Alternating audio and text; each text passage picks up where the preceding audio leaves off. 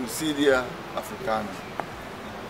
Lucidia family, which uh, the Akans in Ghana call Nchinini Mapo and Anguni Nchini.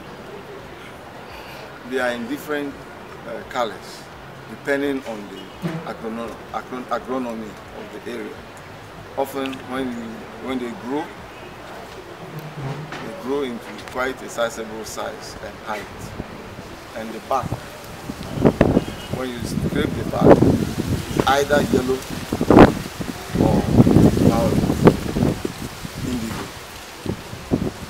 It is highly medicinal and useful for fevers, any form of fever. The leaves, the, the bark, the roots crushed together, release you of any deadly call it Inchine Nim, but uh, or Inchine Nim.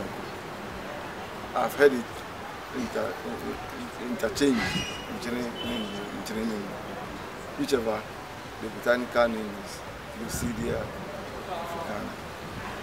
And it grows across the whole of West Africa.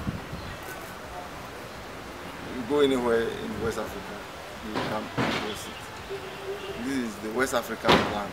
I call it the West African plant, which identifies uh, the, the, the, the deciduous and tropical rainforests. You find them. Deciduous forest, savanna, the ripe savanna, you find them. God has intentionally dispersed it because he knows the sun is really hot in Africa.